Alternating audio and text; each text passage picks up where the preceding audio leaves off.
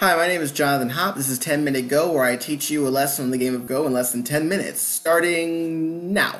Alright, so today's lesson is the Ko rule, alright? It's very important to learn the Ko rule because it's one of the basic rules of the game. And I teach it later on in the series, you know, I know it's one of the basic rules, but I teach it at this point in the series because it gets to be a little bit complicated for beginners. So try to concentrate as much as you can today because it'll get a little bit scary. Alright, so let's say we have a board like this, alright? We've got black up in here, we got this sort of like flower looking shape in the middle. Alright, by the way, ko is a Japanese word. It's called pe in Korean and uh, in um, Chinese. So I want you to kind of understand that Americans use, Americans Europeans, we use Japanese terms. Uh, mainly because that's who taught us the game was the Japanese. So we ended, we didn't we didn't have English for ko, so we just used their word. Uh, if had it been the other way around, we would have used Chinese words. The Chinese had been the first people to introduce it to us. So it just depends who got there first. So just kind of understand that the three languages are not the same, and they have vastly different vocabulary for the game of Go. Now here is we have an interesting position. White has one liberty here. That means that if black covers this point at f3, then we can take the stone at e3. Now, some people usually get a little bit confused because they say, well, wait a second, Jonathan. You said you cannot put a stone down on the board where it will automatically run out of liberties and die. You are correct. I did say that. And still, I have not contradicted myself in the slightest. After black takes at f3, the black stone has one liberty here. Why? Because you killed the white stone in killing E3 and taking away its last liberty, you've ensured yourself a liberty for yourself. So when you put the black F3 stone down on the board, you've automatically captured the white stone, and then you have an extra liberty at E3, which means you are an Atari, but you are not, uh, this is a legal move. You are not automatically run out of liberties. Now, here's the catch. Let's say this was important. Let's say uh, black captures uh, E3. Now, white cannot capture back. Here's why if we allow white to just capture back, then this will go back and forth forever. It'd be black captures, white captures, black captures, white captures, blah, blah, blah, blah, blah, blah go on forever. All right, so we don't want that. We want the game to continue, especially if both players really, really, really want um, this to control this point. And sometimes it happens. Sometimes it's very important to control um, a certain point of the game. So white cannot take black back white must change the overall board position. All right, what that means is like take a snapshot. Go. Here's what the board looks like now. All right, and so white can play elsewhere, and now this board and this board are different, right? Look at every the position of every single stone on the board. Now the whole board position is different because there's a stone here at G5 where there was not a stone. Now, here's this is where Go is kind of like boxing, right? Boxers go in and they put you know they put up their dukes and they start jabbing at each other, like they start testing each other at the very beginning to see if the other one will, will react. If usually the guy doesn't react, they just sit there, you know, knock, and then eventually they start going, you know, going at each other. But here, kind of in Go, when you play a move like G5, it doesn't necessarily make Black need to do anything. Black doesn't feel any sense of urgency to defend against your move, so Black may just choose to protected e3. Perfectly fine move, alright? So g5 does not have enough punch to it. We need to have a little bit of a zingier move. So it has to have a threat behind it. We need to find a ko-threat, alright? So you're going to find a ko-threat. Some move that if black ignores it, then black will suffer in some kind of way. I've got such a move. Let's try b9. c9 was also works just as well. Now b9 in and of itself is not a good move because it doesn't actually work to kill black. Let's say um, these black stones are behind a white wall, so if black does not defend, he will die. But how should black defend to live? Pause the video, think about it. C9 is the vital point, alright? This is where you play so that you don't die, alright? Now D9 is an illegal move for white, and A9 is an illegal move for white, because if he puts a stone on either of those points, they will automatically run out of liberties and die. So, that being the case, black cannot be lowered to zero liberties because of the rules of the game, and therefore black is alive. These stones cannot be captured ever. So, it's true that white, you know, white played this b9 move and black was forced to respond. But now this position, where every, look at every stone on the board, the overall position of the board, compared to this is different. Because now there's this position, and this position has two more stones, which means white can take back. That's the ko rule. All right, you cannot take back immediately. You must change the overall board position by playing somewhere else, and then you can take back. Now, the reason we did it this way is because if I just play somewhere else by itself, that does not necessarily mean black is going to respond to g5. Whereas if I play like this, black will respond to this unless he wants to die. All right. So for example, let's say black doesn't believe you. Right. Black's like, well, whatever. I don't care.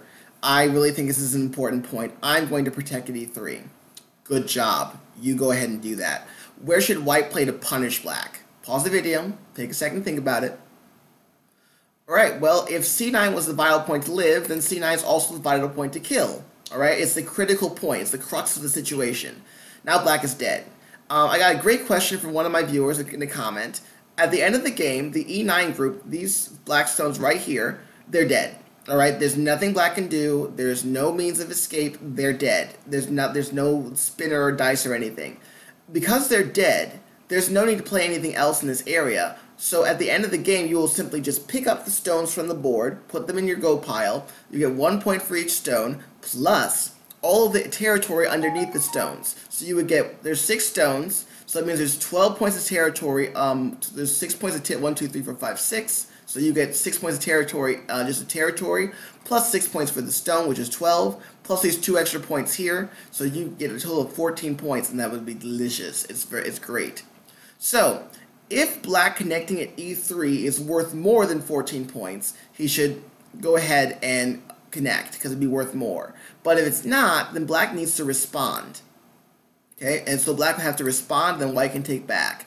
Now black needs to find a ko-threat. Alright, black needs to play somewhere else and change the board position. So for example, black were to play, I don't know, anything. Now this board position is different than this one. So white might either connect, or if white responds to it, white can respond to it. And then it'll go back and forth, back and forth. Ko-threat response, take the ko. Ko-threat response, take the ko that's how it basically goes back and forth until someone decides that either A, the ko isn't important anymore, who cares about it, or B, someone connects and then will suffer damage from a ko threat. It just basically depends. Also, make sure that your ko threat is actually a ko threat. That is a very big thing. Make sure that there is actually some threat behind it. B9, like, like visualize in my mind what I do is I say, hey, what if I had two moves in a row? I play, my opponent completely ignores me, and then I play again and you can try to see well what happens does my opponent suffer after that point if they do you've probably got a good ko-threat and all you have to do after that point is figure out how much it's worth but all that's pretty complicated so don't worry about that too much right now now i've got a beginner game where i had two beginners that are like basically like 20q 25q they played a very interesting game all right and we came up to this point where we had a possible ko and Black's got the right side, black made a two-eyed shape on the left, white's got some territory, but white's lower left group is in danger. It's not clear whether or not this group can live, okay? And we have this shape, so you probably have already figured out that it's going to be a ko. It's black's turn. Black can take at d2, and now the white white's on e2 is dead and taken off the board. Now white's got some problems. The lower left white group does not have enough space for two eyes. If white connects his group, he's got one eye, here, but eventually I'm just going to try to make this like make this super duper clear so that no one, um, I'm just ignore these moves. I'm just saying that basically when black plays this, if white takes, death, okay? Which means since there is no logical means for white to live, then these white stones in the left corner are dead and there's no need for any further moves, all right? That's something beginners have to really kind of get through their head, that there's just, it's like a causal chain Okay, you throw the ball in the air, it will go up and then go back down due to the gravity. There's no randomness to it. Alright, so black takes, and now white cannot take immediately back at e2 because of the ko-rule. White has to find a, a ko-threat, a decent ko-threat, in order to take back this area. Now white's got a very, it's going to have a very, very hard time uh, from this point onward. So let, let's say, for example, white tries to play something, anything. Does this move really force black to do anything? Not really. I mean, even if uh, after black takes, if you play here, then black plays here. Not really that big of a deal. So this move doesn't have any punch. Plus, if black just connects or takes, either which one doesn't matter, then the, all these white stones are dead. So white's got to find something. White might be able to attack this group, all right, by looking at its shape and saying, hey, I got to find some way of getting out of this pickle. Let's say white Ataris.